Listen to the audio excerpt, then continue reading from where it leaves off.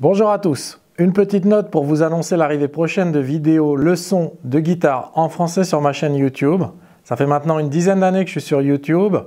Les premiers contenus avaient des titres en anglais et du matériel en anglais, dans la mesure où les premiers commentaires que j'avais reçus étaient en anglais. Puis la chaîne s'est développée et j'ai commencé à recevoir pas mal d'abonnés et de visionnages.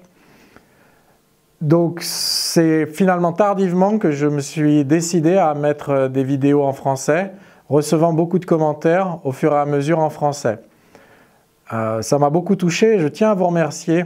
J'ai appris que certaines personnes apprenaient ou développaient leur jeu de guitare grâce à mes vidéos et cette fois j'avais envie de le faire en français avec une série de vidéos que je vais mettre en ligne prochainement. On va regarder de près les bases et la technique.